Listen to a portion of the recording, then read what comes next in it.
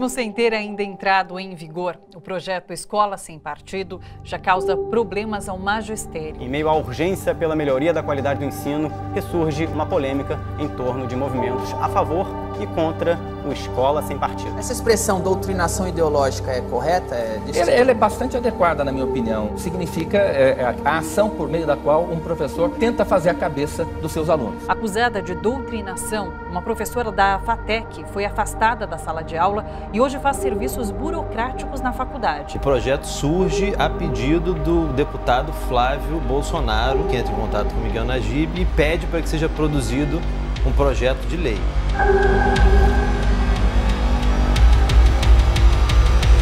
Aqui? Pode ser. Eu, por curiosidade, fui investigar o Instagram para verificar se existia essas pautas, mesmo seja uma rede completamente diferente, uma mídia completamente diferente voltada para fotos, uma coisa mais egocentrada, redes egocentradas, é, me chamou muita atenção a existência de uma militância ativa a favor do Escola Sem Partido no Instagram. O que mais chama atenção é que Escola Sem Partido é um detalhe. O que existe no Instagram é uma rede articulada que se auto-identifica como de direita, com perfis que têm uma grande visibilidade e que colocam uma série de hashtags. Então a análise foi feita através de, do estudo de hashtag Escola Sem Partido. Uh, nossa bandeira jamais será vermelha, é, PT nunca mais, é, escola, própria Escola Sem Partido, menção a 64, aos militares no poder, existe não uma regra, mas existem alguns monarquistas e assim por diante, uma série de pautas que estão interligadas por essas pessoas. E o objetivo deles é destruir e acabar com o que eles chamam de doutrinação de esquerda, que muitas vezes, pelo que a gente já viu, é uma discussão, por exemplo, de direitos humanos. É uma discussão sobre igualdade de gênero, ou até mesmo sobre ciência propriamente dita.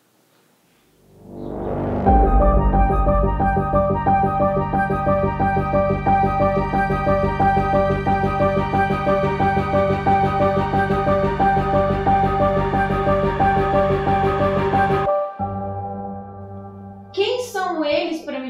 é neutro e o que é certo? Não existe essa neutralidade. Quando eu escolho o nome que é da escola que eu trabalho, Presidente Kennedy, isso é neutro. A escola se chamar com o nome de um presidente dos Estados Unidos eu não, eu não sei se tu sabe, são duas escolas em Porto Alegre, com presidente Castilho. Não é só uma.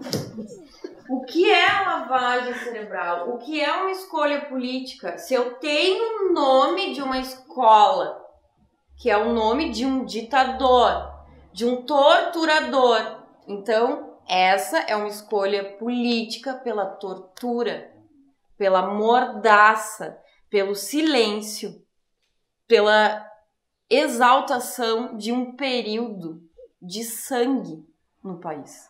Isso não é neutralidade. Isso tem que ficar bem claro para as pessoas.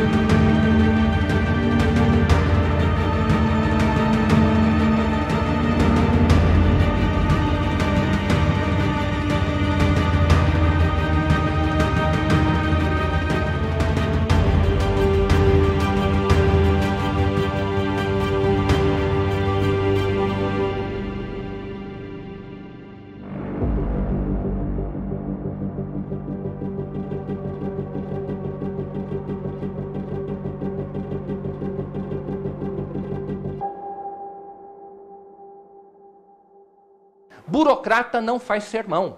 O burocrata aplica a lei, pune, exige o cumprimento da norma, mas ele não faz sermão, quem faz sermão é padre. O professor é um burocrata, ele transmite aos alunos o conteúdo do currículo, aquilo que está escrito e que foi aprovado pelas autoridades competentes. Não lhe cabe dizer aos filhos dos outros o que é certo e o que é errado em matéria de moral.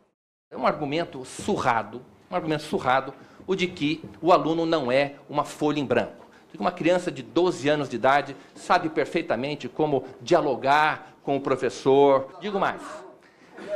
É um argumento típico também dos estupradores.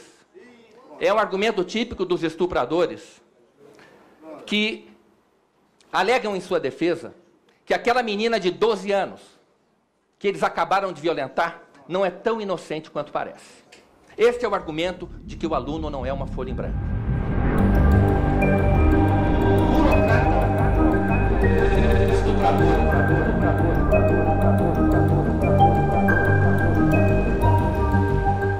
Para a gente entender o que é esse movimento da escola sem partido, é, a gente precisa entender que esse movimento surge não, não num contexto unicamente nacional, interno, mas de um contexto que é internacional também, que é uh, uma onda de conservadorismo que vem tomando conta uh, das políticas uh, em diferentes países do mundo. Né? Aqui no Brasil, uma das ações que a gente percebe nessa onda de conservadorismo, não é a única, mas é esse projeto que ele aparece principalmente a partir de 2015 da Escola Sem Partido, que é baseado num projeto, um programa que teve nos Estados Unidos de controle e fiscalização do trabalho dos professores na escola. I'm a state representative in the south of Brazil.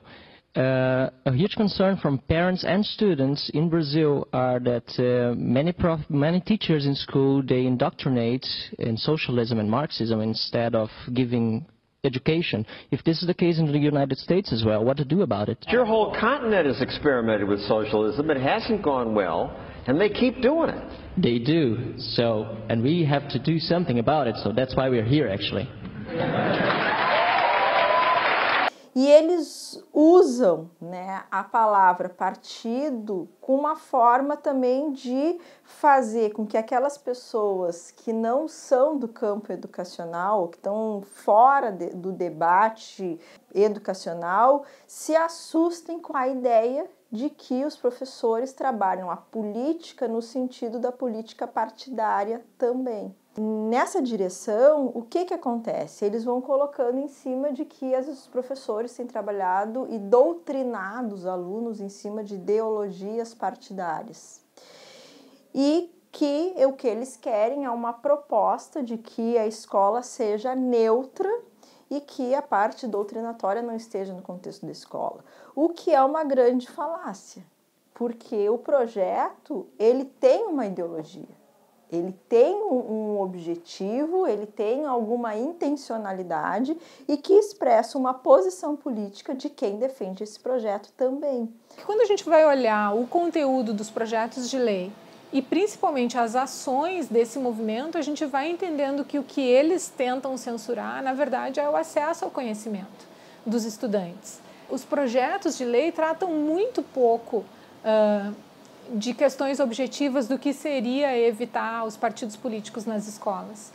Eles, eles tratam uh, de proibir doutrinação ideológica de uma forma muito genérica, sem definir em que consiste. Então, essa vagueza do texto dos projetos de lei permite que qualquer, qualquer ideia, qualquer prática pedagógica, qualquer, qualquer expressão, qualquer manifestação seja censurada no ambiente escolar. O projeto ele foi elaborado pelo advogado Miguel Najib, a pedido do Flávio Bolsonaro no Rio de Janeiro.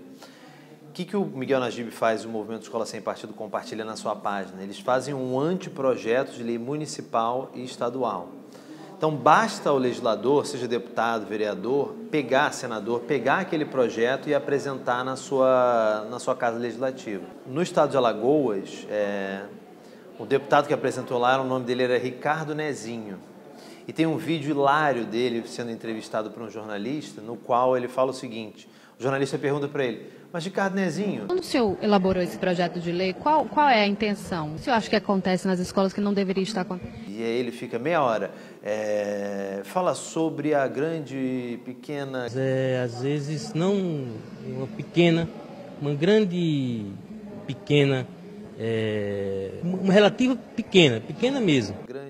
Pequena quantidade de professores que trabalham com a questão da... É, que na sala de aula às vezes vai questionar a questão da questão da ideologia em si. A ideologia em si. Ou seja, ele não sabe sobre o que é o projeto. Esse caso ele é emblemático, que ele mostra que muitos legisladores pegam o projeto e apresentam, não sabem nem do que se trata. E muitas vezes mudando o nome. Em alguns lugares é a escola sem pedofilia, em outros lugares é a escola livre, o que faz com que as pessoas nem saibam que é esse mesmo projeto.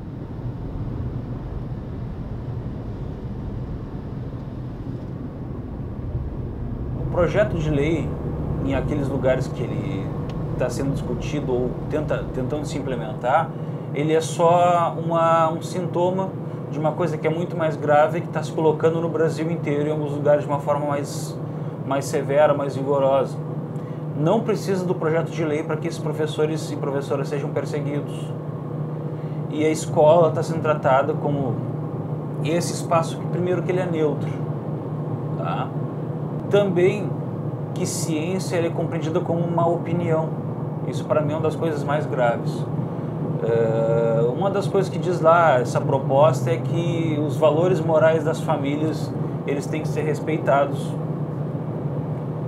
E isso não é uma coisa que se coloca em risco na escola quando a gente vai discutir política, quando a gente vai discutir cidadania, democracia, e me preocupa mais ainda quando a gente vai discutir algumas questões que são de ciência. Imagina uma, uma família que tem uma, uma visão de mundo que ela é extremamente religiosa, radical, e aí o filho vai ter uma aula de biologia e os pais dizem, eu não quero que ele tenha aula de biologia porque nós somos criacionistas. Ou então, exagerando, mas eu não acho não acho impossível, eu não quero que ele estude geografia, porque a Terra ela tem 12 mil anos, a nossa perspectiva religiosa e assim por diante. Então o elemento religioso, hoje em dia, ele se junta muito com o conservador.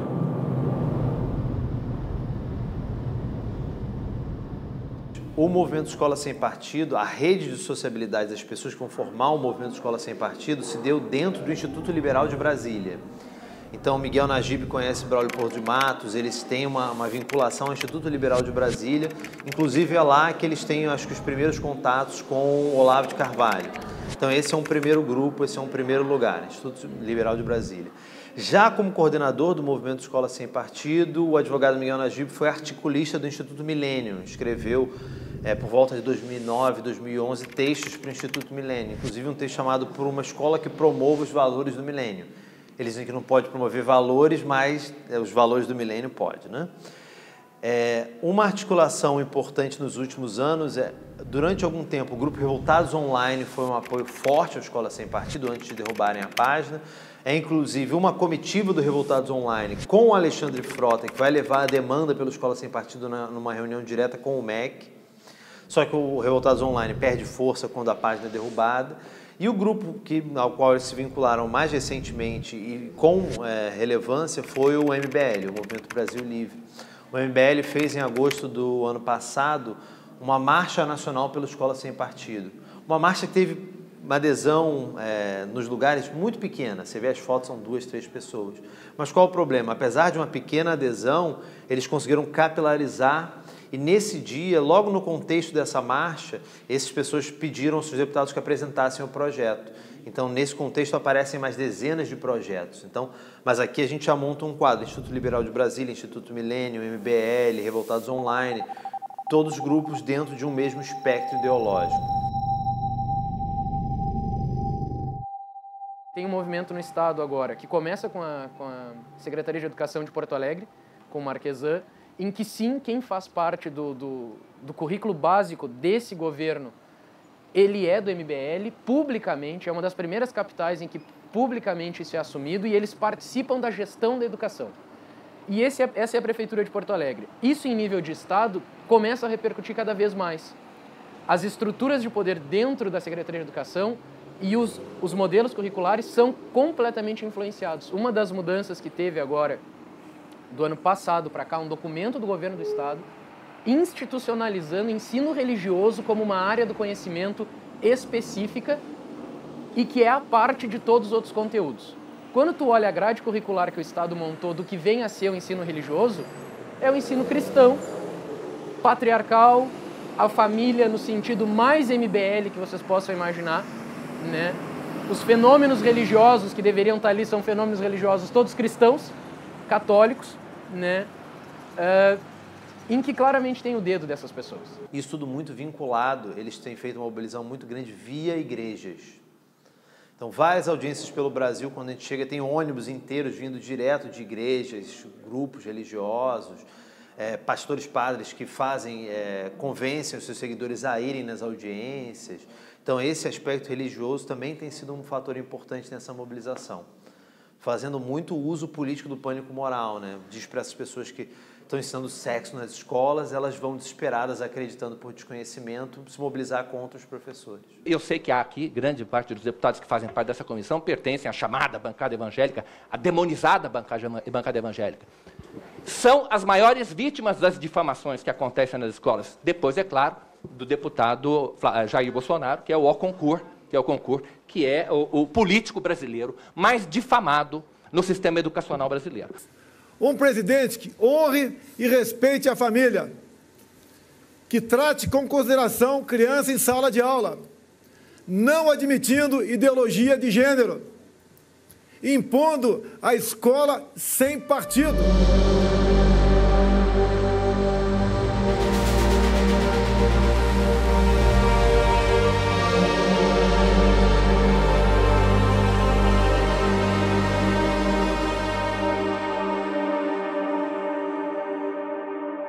A bancada uh, política que tem levado esse projeto para a Câmara de Vereadores, para a Câmara de Deputados, uh, tanto no âmbito estadual quanto federal, são as bancadas fundamentalistas, são as bancadas religiosas e que fazem um discurso dentro da escola da escola, desculpa, dentro da igreja, contra o trabalho pedagógico dos professores. Uma expressão antes da, do projeto vir à tona tão claramente foi após a aprovação do Plano Nacional de Educação, quando os municípios e estados tiveram que construir os seus planos municipais e estaduais de educação, em que as igrejas Uh, e aqui, quando eu digo igrejas, eu falo algumas evangélicas, falo da Igreja Católica também. Uh, propuseram que os seus uh, fiéis fossem para frente das, das câmaras de vereadores, no caso dos municípios, e impedir a ideologia de gênero dentro dos planos municipais de educação. Eu tive a oportunidade no Instituto Federal em Ibirubá e, e, lá em Ibirubá aconteceu um debate muito interessante. Eu terminei minha fala, uma fala de 40 minutos, uma fala padrão, que geralmente eu faço 40, 50. E perguntei no final, no final eu fiz a provocação, olha gente, é muito importante posicionamento. Quem porventura for contra isso que eu estou trazendo para vocês, contra a crítica do, do Escola Sem Partido e a favor do Escola Sem Partido, fale, se posicione. E se posicionaram. Então a primeira pessoa que falou era uma pessoa do curso superior. Ele disse assim, olha, para mim, esse negócio de Deus fez Adão e Eva, não fez Adão e Ivo. Então não tem que ter discussão de gênero na escola. Mas o que, que eu fiz? Né? Comecei a puxar. Bom, mas veja bem, discussão de gênero não é só isso. Discussão de gênero. O senhor tem filho ou filha? Já era um homem com mais idade, eu disse assim, não, eu tenho uma filha. Tem problema sua filha brincar de carrinho ou querer ser motorista de caminhão, pilotar uma aeronave? Daí ele chegou assim, não. Pô, isso é uma, isso é uma discussão de gênero. Sabe? Tem problema, se, se tivesse um filho, tinha problema daqui a pouco tá, tá brincando com uma panelinha, tem, se ele pedisse, se ele quisesse vestir rosa, tem problema? Não, não tem. Isso é uma discussão de gênero. A conversa foi, conversa veio. Daqui a pouco um outro chegou e disse, não, é que o problema da escola tá, não é a escola, é a família. A família normal, mãe, pai. Tinha sido muito legal, né? Porque na, naquele dia mesmo eu tinha lido um artigo que dizia a maior parte das famílias no Brasil hoje são famílias em que as mulheres chefiam a família.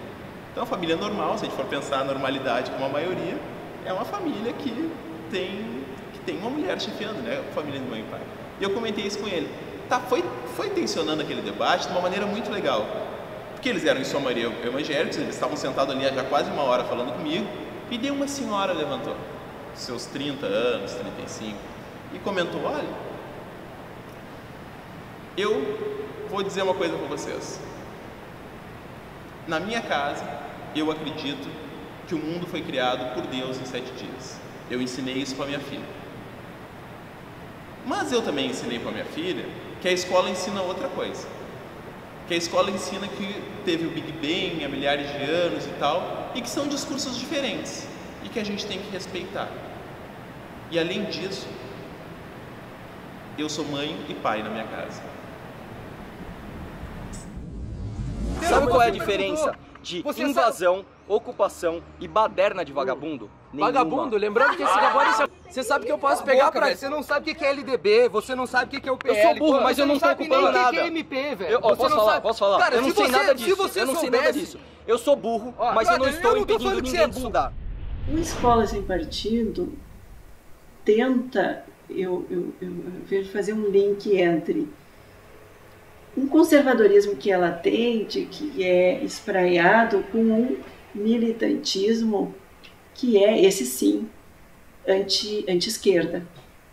Ele tenta fazer um, um link entre essas, essas duas coisas. Tem uma distância enorme entre aquela família que está descontente porque o professor ãh, incentiva os alunos a compreenderem o direito à sexualidade. Então, isso pode ser perturbador para muitas famílias. E isso não é surpreendente, exatamente porque a gente está numa sociedade conservadora e, e, no- e o Brasil não está isolado nisso. né? Então, isso é uma coisa. Outra coisa é, é um grupo muito organizado, né, que eu acho que a gente pode dizer que eles são bastante organizados no sentido dos contatos que eles têm entre si, do treinamento de algumas pessoas né, para produzir determinados tipos de, de manifestação, de, de manifestações ah, agressivas, bem agressivas. O que, que eles fazem? Eles são especialistas treinados para simular situações em que um deles teria sido provocado ou agredido e aí então ele reage. E com isso eles tentam criar uma situação de tumulto, nessa situação de tumulto, de confusão, então eles vão ah, tentar dizer que foram agredidos por A, por B. Esse partido já, já agrediram gente lá na frente da prefeitura. Eu não agredi ninguém. Eu sou fascista, fascista não é cidadão. Fascista não é cidadão. Fascista é você. Fascista não é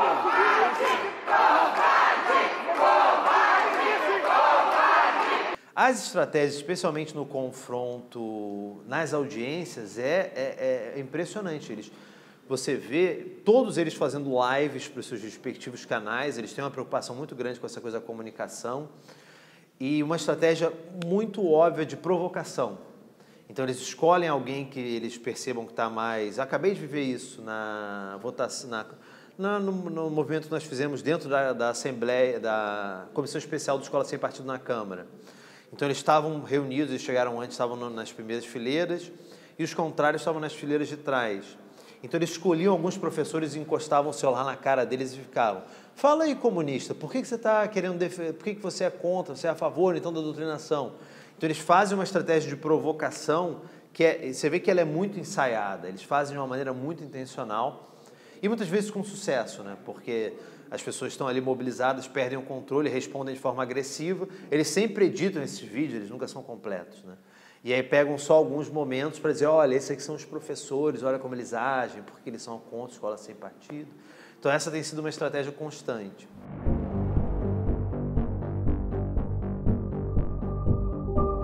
É difícil não entrar num estado de vulnerabilidade. Pra mim foi difícil, pelo menos.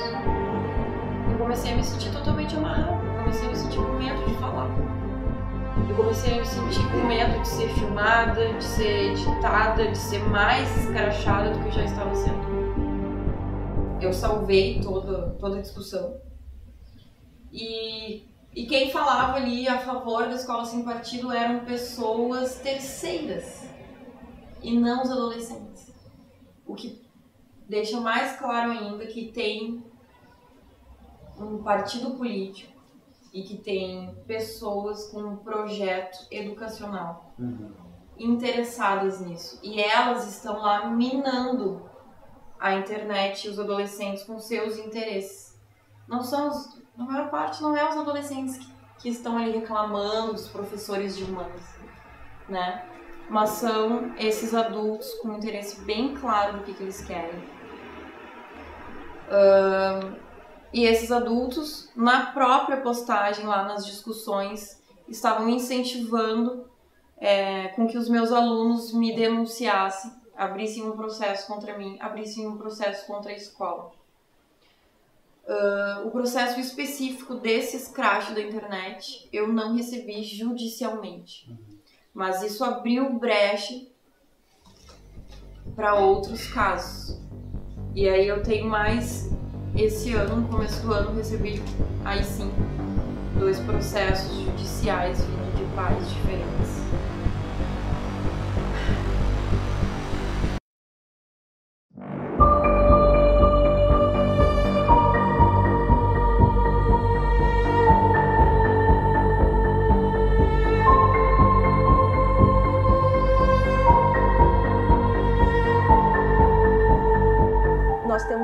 Professores sendo processados ou denunciados, não necessariamente processados, mas denunciados, ãh, de que estariam ãh, né, descumprindo o seu papel. Tivemos recentemente um caso em Santa Catarina de uma professora que trabalha com as questões de gênero no pós-graduação ser processada porque a pós-graduanda religiosa entendeu que a professora estava indo contra ela ou obrigando ela a pesquisar questões de gênero do qual ela não concordava.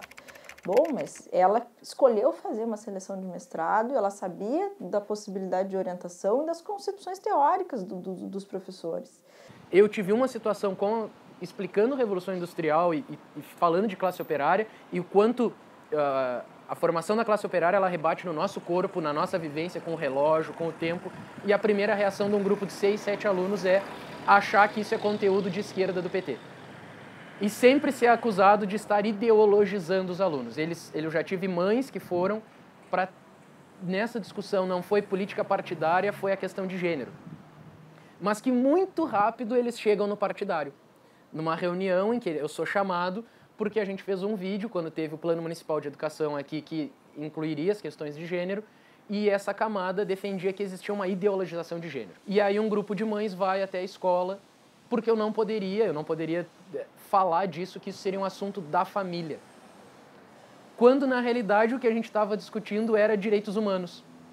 E uma das era, a aula era sobre direitos humanos e justamente o assunto era, bem, a gente está agora em 2015, foi isso?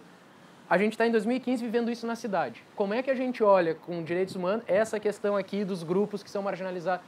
Isso gerou um grupo de mães que vão questionar a minha posição política e a minha posição que eu estaria ideologizando as crianças.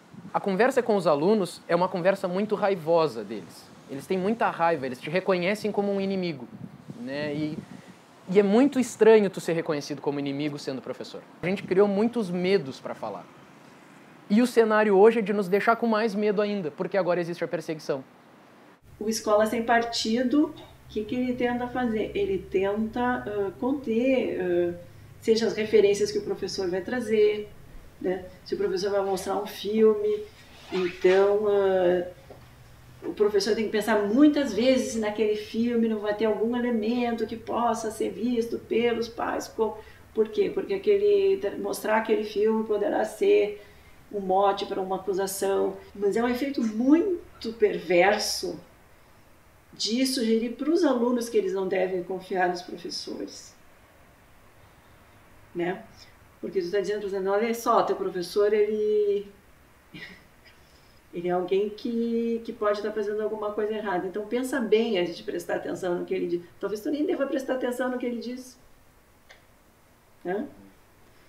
Ou talvez tu tenha que prestar atenção, mas não para aprender, tem que prestar atenção para encontrar aquela palavra com base na qual ele vai ser acusado, punido. Isso solapa a aprendizagem. porque todo diálogo que acontece na sala de aula, né, ao invés de ser um diálogo pautado no, no interesse em aprender, em descobrir, em debater, então ele, ele começa a ser um debate, uma comunicação pautada por essa, essa ideia tenebrosa, né, de que alguns estariam querendo dominar outros. Aqui em Porto Alegre, nós tivemos o caso de professores uh, do Colégio Estadual uh, que, que levam o nome de um ditador, né, da ditadura militar, é o Colégio Estadual Costa e Silva. Nessa escola já fazia quase seis anos que a comunidade escolar produzia um, um projeto que se chamava De Costa uh, para a Ditadura, de Frente para a Verdade. E era um estudo interdisciplinar que trabalhava questões de artes, educação física, história. Uh, já os, os, estudantes dessa escola chegaram a ler relatórios da Comissão da Verdade. Então, um, um estudo muito interessante que eles vinham fazendo. E a Secretaria de Educação, então, no, desde o final do ano passado, uh, começou a pressionar a direção da escola para uh, colocar à disposição os professores que coordenavam esse, esse projeto, uh, alegando que quem gosta de história antiga são os museus, que era para esquecerem essa história e, e seguir em frente, né? E isso tudo veio um pouco em decorrência das ocupações, porque como eles, os estudantes vinham tendo acesso a essas informações durante a ocupação, eles mudaram o nome da escola para Escola Edson Luiz, homenageando um estudante secundarista que foi assassinado em 1968 pela ditadura militar. E e bem, então isso já como resultado dos estudos que eles vinham fazendo, e a Secretaria de Educação então pressionou a direção da escola e, e um dos professores acabou sendo colocado à disposição, ele foi transferido da escola. Está no informal aqui.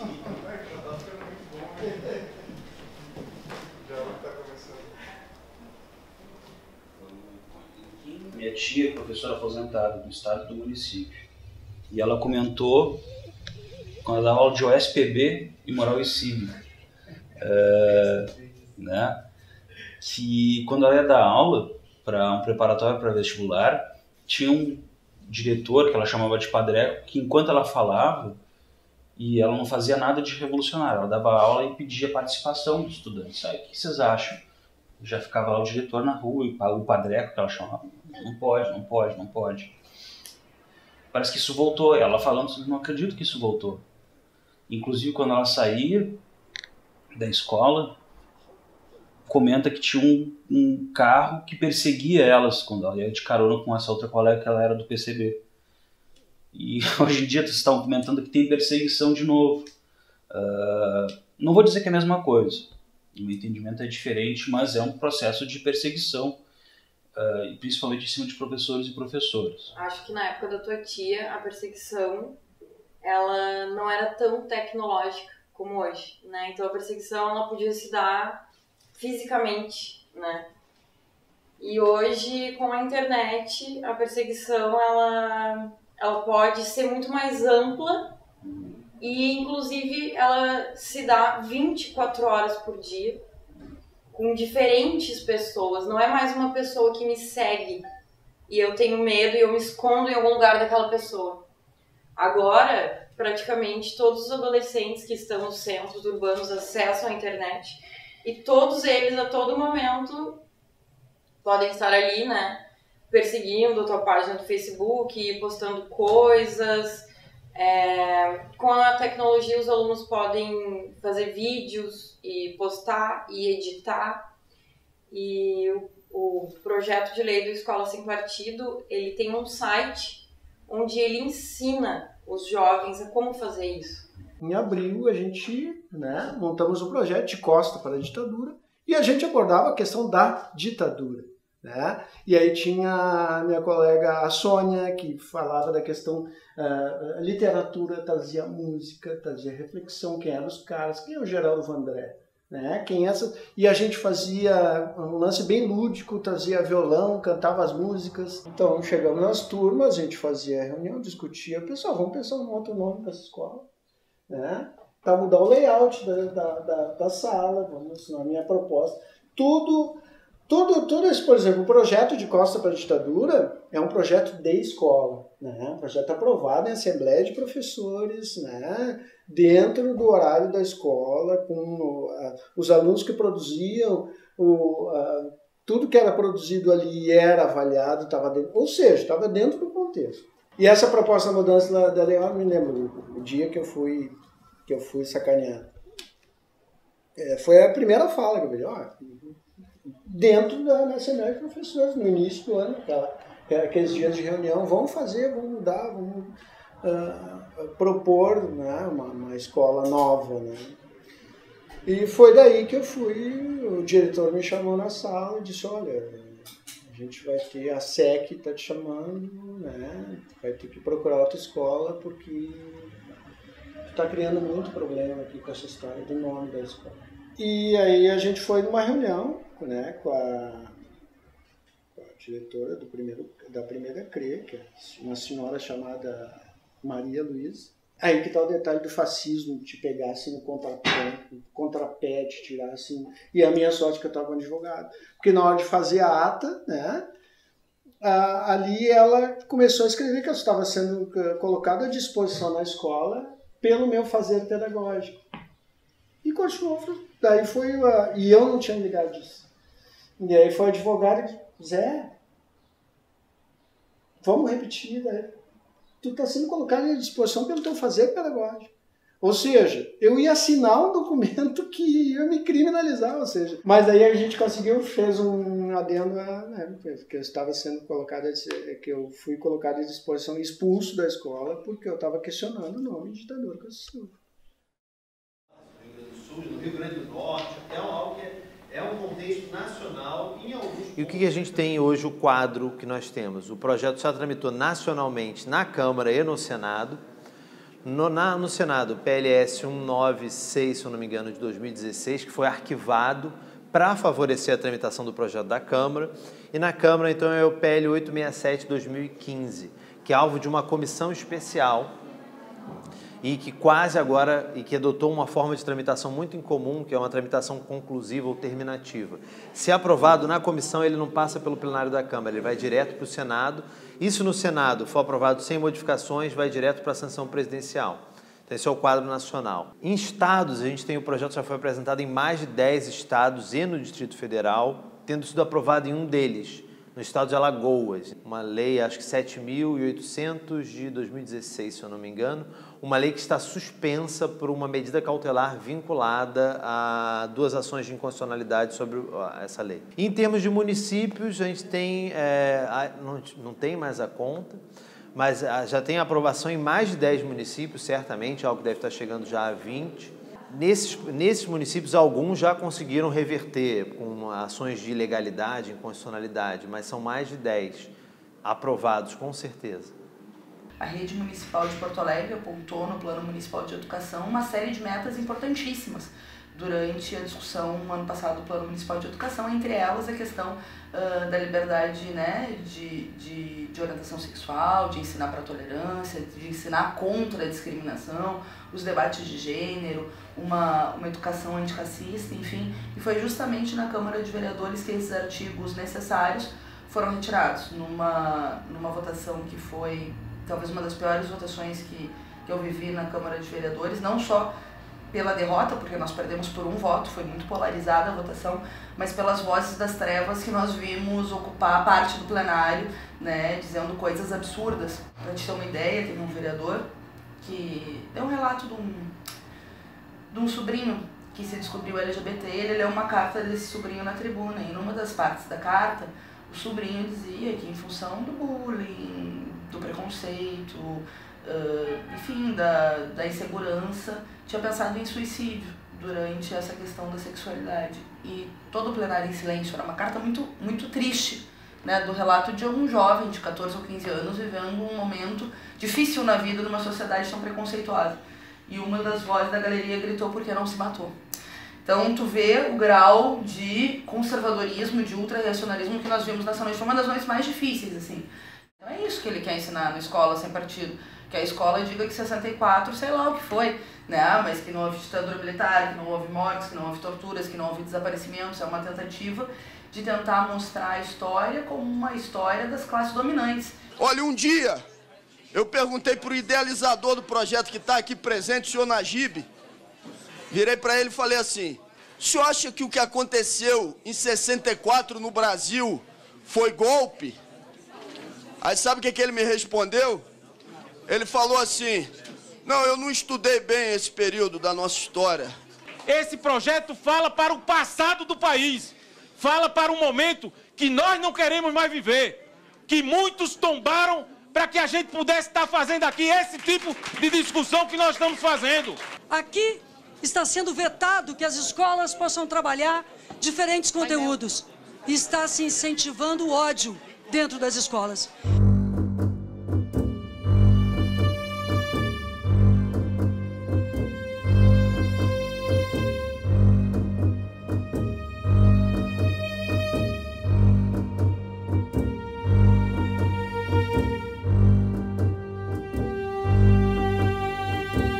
Onde a gente estava quando a gente viu uma escalada de conservadorismo e autoritarismo na escola, dentro da estrutura escolar, que para além das pessoas que estão ali, mas o que está por fora, a comunidade escolar como um todo, entrando na escola com demandas e questionamentos que a gente, por uma situação de alguns anos ter abandonado alguns debates, a gente deixou acontecer, né? E isso se diz a um governo hoje, um governo federal que não é legítimo, né, para a grande maioria dos professores, por mais que eu saiba que tem colegas que acreditam que essa foi a melhor saída, né? A gente vem de uma série de derrotas dentro do governo do estado com a nossa questão salarial e nesse meio tempo, ao invés de bancar uma posição ou se compreender como um, um mediador dessas demandas, a gente se ausentou desses debates, né? E a ausência do debate, ela alguém ocupa esse espaço.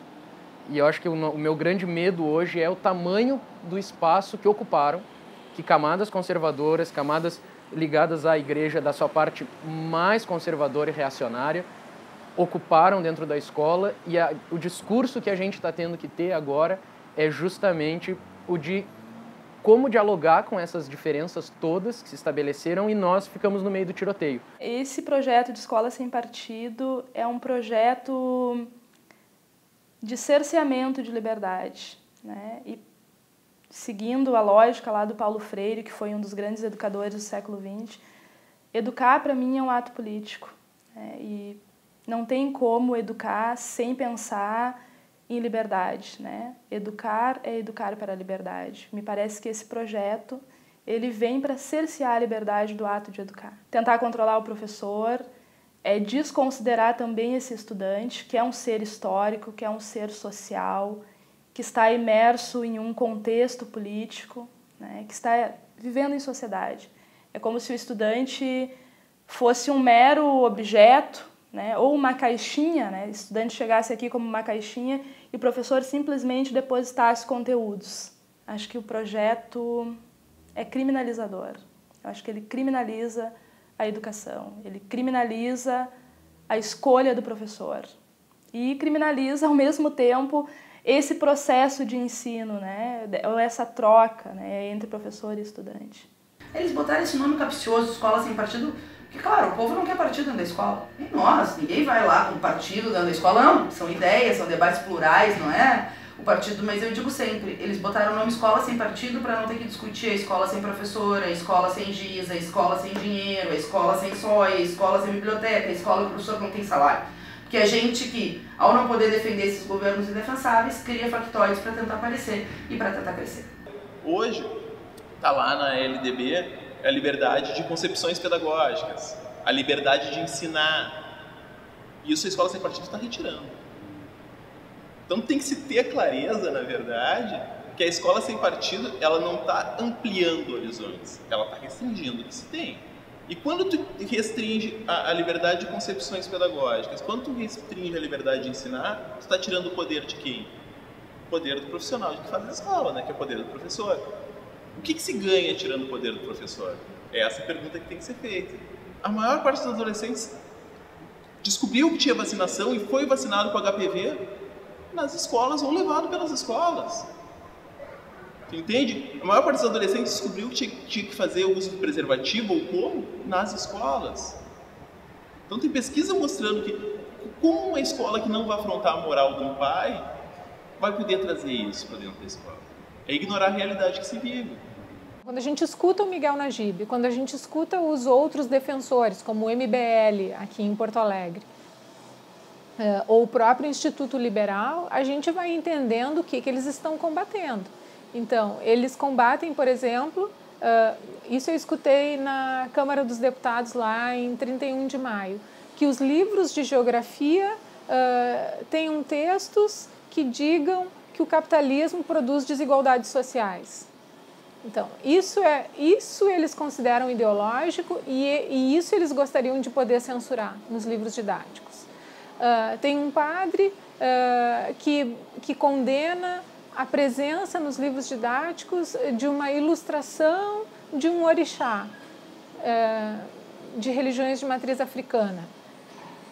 Bom, só que as salas de aula estão repletas de crucifixos, as escolas estão repletas de santos. E isso ninguém, ninguém fala nada em relação a isso. Uh, em diversas escolas, os professores fazem orações antes das reuniões e fazem orações uh, cristãs com as crianças antes das aulas. Isso é proselitismo religioso e ninguém diz nada em relação a isso.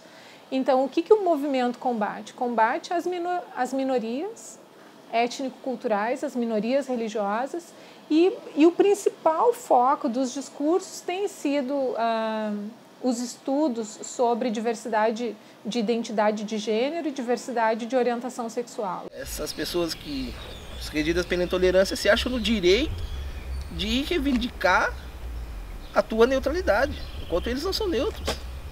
No momento que o cara vai dentro da escola, né, defender o Bolsonaro, que neutralidade ele está tendo nesse momento?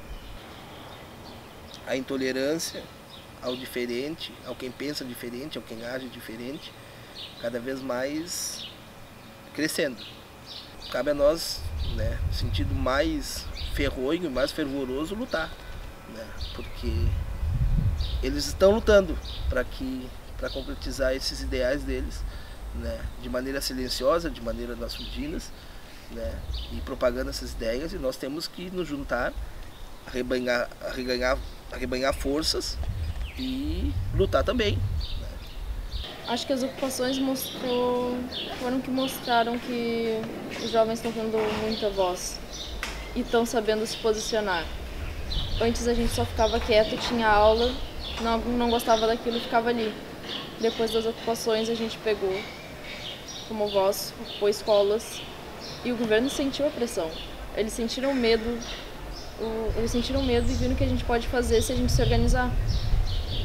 E eu acho que tipo, o Escola Sem Partido, a, o novo projeto da, das escolas, tudo isso entra nessa questão. Eles querem a todo modo tirar a ideia de luta que os adolescentes têm hoje em dia. Eu entendo que a juventude não vai ter acesso a um conjunto de conhecimentos acumulados pela sociedade, conhecimentos científicos e, e, e também uh, produções artísticas, né? Uh, por autocensura, inclusive, dos professores. E isso, mesmo sem que a gente tenha uh, essas leis da mordaça aprovadas, as pessoas já estão já estão já estão receosas de trabalhar determinados temas que são polêmicos, que são delicados, né? E, e, e são os temas que a gente precisa trabalhar porque eles possibilitam a prevenção a práticas de violação dos direitos humanos. Então, maior risco, um, que independe da aprovação ou não do projeto, é esse discurso reacionário ele tem ganhado, ele já possui uma adesão significativa na sociedade brasileira. E quando você coloca o professor como esse inimigo, você tem pais que vão começar a intimidar os professores e nas escolas reclamar dos professores, algo que você estava relatando agora há pouco. É, o que, que isso faz? Muitos professores, quando não estão vinculados a coletivos fortes de professores e sindicatos, eles começam a se autocensurar por medo. Esse, essa, para mim, já é a maior consequência negativa. Já ouvi professores me dizendo o seguinte: olha, Fernando, eu falo de Durkheim, falo de Weber nas minhas aulas, Marx eu não falo mais, porque já me disseram que eu no trabalho numa escola privada tenho medo de ser demitido. Um dos pais da sociologia. É, Fernando, eu sei da importância de discutir gênero, discutir isso na faculdade, mas não faço mais, porque tenho medo de ser demitido, medo de ser afastado da minha escola. Então, esse é um aspecto negativo que a gente precisa lutar para para fazer com que os professores se sintam seguros para desempenhar a sua função como ela deve ser desempenhada, de acordo inclusive com políticas educacionais. Agora, se aprovado, o Escola Sem Partido ele não tem como ser implementado. Por quê? Porque só se tira, matasse todos os professores e colocasse robôs. Né? E mesmo robô ele teria, estaria carregado de ideologia, ou seja, é, é absolutamente impossível aplicar o Escola Sem Partido. Mas para que, que essa lei ia servir? Como ferramenta de perseguição dos professores. Porque aí esses grupos que perseguem os professores poderiam dizer, olha, é lei, você não pode fazer isso, e aí as interpretações mais equivocadas do mundo. Né? Então eu acho que no final das contas seria uma ferramenta para perseguir professores que não estão fazendo nada de errado, que discutem questões que devem ser discutidas, né? previstas em, em acordos internacionais. O Brasil é signatário do, da Carta de do documento de Yogyakarta, no qual ele se compromete a combater a desigualdade de gênero em sala de aula. A nossa Constituição fala em formação para a cidadania, então tudo isso é previsto na Constituição. Né? Então, eu não estou falando de proteger professores que estão fazendo algo incorreto, não, professores que estão desempenhando a sua função como ela deve ser desempenhada e que não estão fazendo isso por medo de retaliações. A gente sabe como o fascismo começa, mas a gente não sabe como o fascismo termina. Sabe? Então, eu acho que tu criar esse vazio de discussão, uma escola sem partido é uma escola sem discussão, é uma escola sem debate, é uma escola sem senso crítico. Eu não sei quais são as consequências futuras, mas, mas eu acho, me parece, aqui no estado, por exemplo, a gente teve quase 200 escolas ocupadas para discutir questões de reforma do ensino médio, discutir questão, questão da, da PEC do, do PEC do fim do mundo, né? discutindo e debatendo. Eu fui, eu fui nas escolas, eu fui nas ocupações, eu vi, eram debates, era vivo aquilo. Bem, é uma juventude que vive, discute e debate. De esterilizar esse debate, não sei, de esterilizar a possibilidade de futuro.